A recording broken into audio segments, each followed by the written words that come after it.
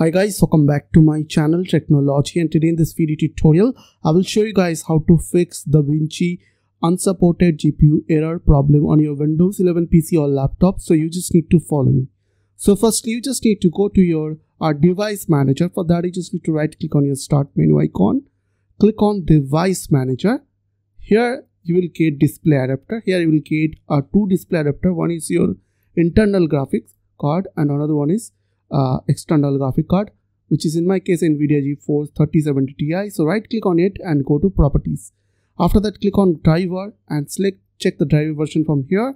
Uh, make sure that your driver is up to date. For that you just need to click on this update driver and click on search automatically for drivers. Also you can use nvidia website to update your driver and if you are already using a latest version of of driver and still if a problem is there then you can roll back your driver and check if your problem is solved or not. If it is not then follow my next step. So simply you just need to go to your start menu or uh, start menu or search menu and type over here run open run box and type some command which i'll give you on my video description which is called which is called sysdm.cpl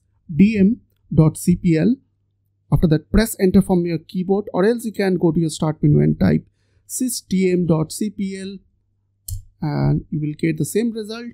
You will get this system properties window. Now click on advanced option over here and here you will get on this page, you'll get environment uh, variables. So click on that.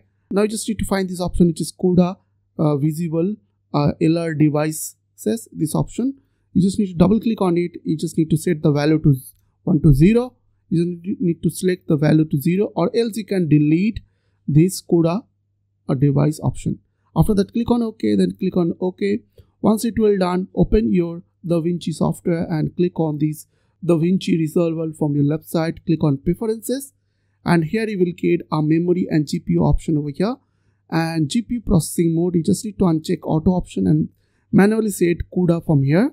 And also uncheck this GPU selection and here you just need to select your external graphic card which is in my case uh, GeForce NVIDIA RTX 3070 Ti.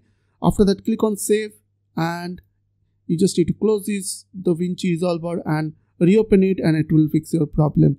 So I hope this quick tutorial will really help for you and please don't forget to click on the subscribe button, like button and share button and if you have any questions or question then comments down below. I will see you guys in the next one next video. Till then bye bye take care.